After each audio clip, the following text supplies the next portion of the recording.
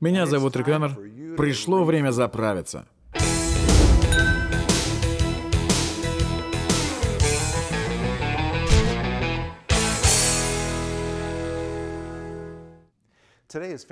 Сегодня 13 февраля, и мы читаем книгу «Драгоценные истины из греческого языка». Глава называется «Местонахождение зарытых сокровищ», помечено на карте буквой X. Когда мои сыновья были еще маленькими, им нравилось, когда я вместе с ними рисовал картинки. Чаще всего они просили меня нарисовать им пиратскую карту. Естественно, какая пиратская карта обходится без икса, которым отмечает местонахождение зарытых где-то сокровищ. Сокровища отмечены буквой X. Во втором Коринфянам 4 главе 7 стихе есть явное указание на местонахождение сокровищ. Это изумительный стих. Давайте его прочтем. «Но сокровище сие мы носим в глиняных сосудах, чтобы преизбыточная сила была приписываема Богу, а не нам. Заметьте, что пишет Павел в начале стиха. «Но сокровище это мы носим в глиняных сосудах». Эти слова апостола Павла сопровождаются изумлением. Апостол пишет «мы носим». В греческом это слово «эхомен». Это значит удерживать, обладать чем-то. Павел пишет во множественном числе, указывая на себя, вас, меня и всех, кто знает Господа, пишет «мы обладаем этим». Оно у нас есть, оно наше. Мы носим это сокровище. Слово же «сокровище» на греческом «тезаурус» указывает на колоссальные, несметные, бесчетные сокровища, золото, всевозможные драгоценные камни. Слово «тезаурус» говорит о величайшем количестве всевозможных сокровищ. И вот самое изумительное — сокровища таких размеров — обычно хранились в сокровищницах. Например, в первой главе книги Исхода написано, что израильтяне построили для сокровищ целые города — Пифом и Рамсес. Эти города представляли собой сплошные сокровищницы и хранилища.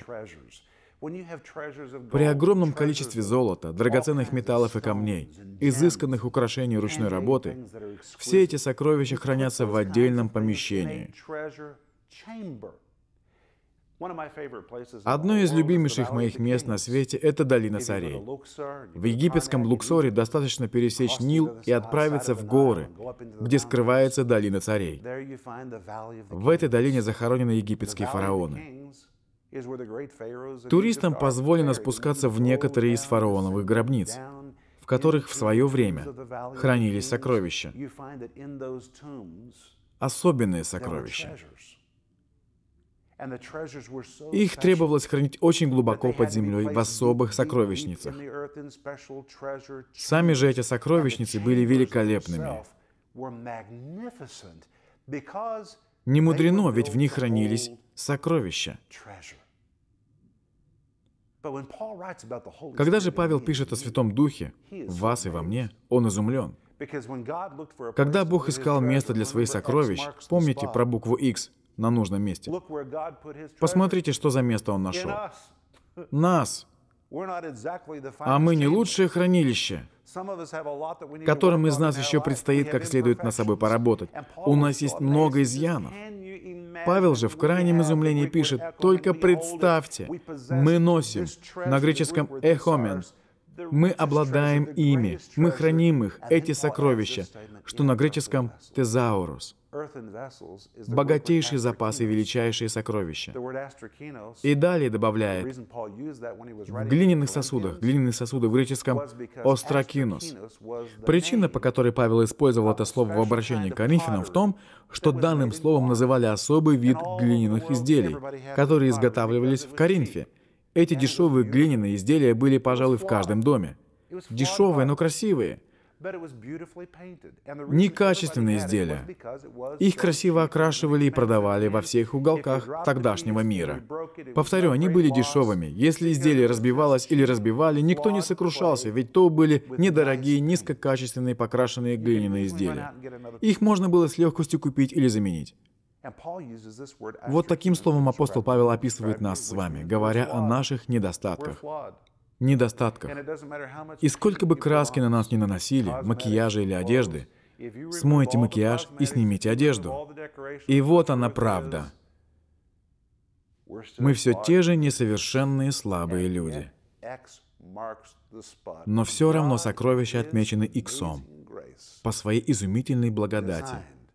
Бог усмотрел, чтобы мы стали хранилищем для Его невероятных, несметных сокровищ. Сокровища отмечены иксом. Речь идет о вас и обо мне. Вот как можно было бы перевести наш стих. Мы обладаем сокровищем, оно внутри нас.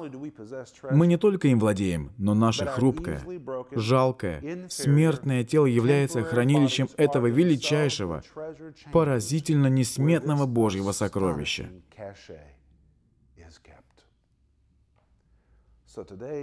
Посмотрите на себя в зеркало и скажите, «Послушай-ка, сокровище отмечено иксом.